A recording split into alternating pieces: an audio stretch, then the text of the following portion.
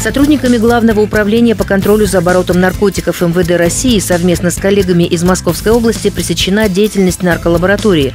В деревне Дюдьково Одинцовского городского округа оперативники обнаружили арендованное домовладение, где уроженец Тюменской области занимался производством синтетических наркотиков. Было изъято различное лабораторное оборудование и химические реагенты, а также пакет с наркотическим веществом. Экспертиза установила, что это мефедрон, общей массой более 700 граммов. Возбуждено уголовное дело, ведется следствие.